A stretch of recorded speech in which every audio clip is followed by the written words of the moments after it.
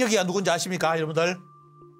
자, 바로 이, 이 양반이 바로 전설에 말하는 요임금. 원래 이름은 방운입니다.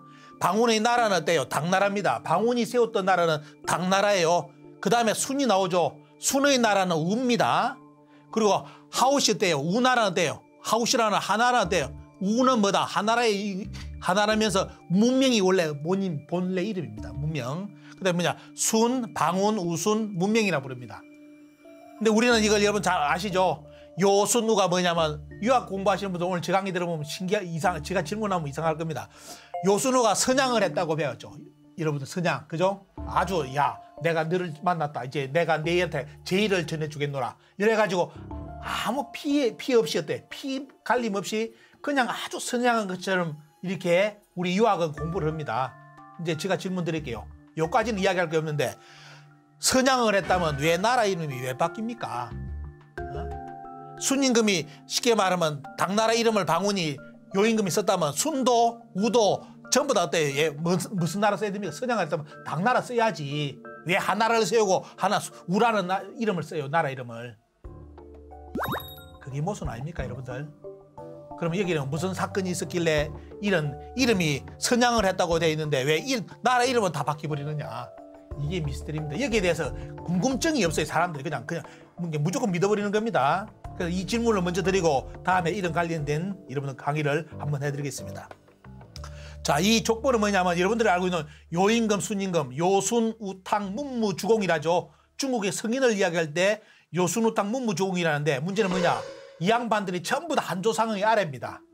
처음 들어보시죠, 여러분들? 누구냐면 조상이 황제 헌은 씨입니다. 황제 헌은. 헌은으로부터 나오는데 황제 헌은부터. 근데 황제 헌은은 누구냐? 조상이 공손씨고요. 잘 보셔야 됩니다.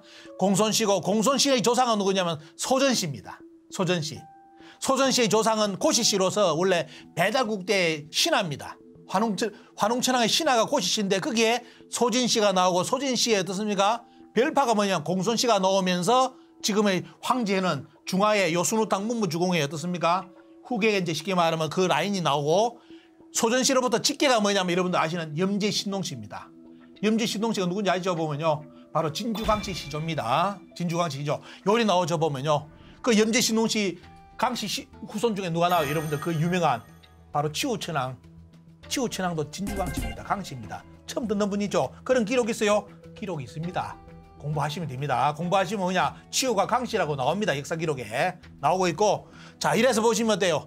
황제 헌으로부터 요임금, 순임금 전부 다 말했던 방금 들었던 요임금, 순임금, 우도 전부 다 황제 헌은의 후손이에요. 근데 문제는 뭐냐면 이 황제 헌은이 그러면 어때? 염제 신농 씨가 동이족인데 그럼 어떻게 되겠습니까? 소전 씨도 동이족이고 고시, 고시 씨도 동이족이죠. 그러면 황제 공손 씨, 황제 헌은 씨도 당연히 어느 종족이 돼야 됩니까? 동이족입니다. 웅족이에요, 웅족. 동이족 중에서 웅, 웅족인데 문제는 뭐냐? 이 양반이 지금 어때? 중화 문화의 한족의 시조가 되어버렸습니다. 문화 그림 만들어졌습니다. 그래 뭐냐면 염제 신동씨하고 황제는 이래가지고 여망지손이라고 지금 하는입니다. 이야기가. 하지만 여망은 중국 한족의 시조가 아닙니다, 여러분들. 이런 그냥 뭐 진, 중국 문화기 때문에 깊게 말씀을 못 드리고 단지 이제 역사적 계보로서 여러분께 타치하고 넘어갑니다. 이게 지금 이쪽 지게 때 여러분들 중국의 모든 성인들은 뭐다? 황제 헌은이고 그 뿌리는 뭐냐면 소전씨다. 소전씨는 동이족입니다. 자, 이것만 이제 결론 보시면 다 아시는 겁니다.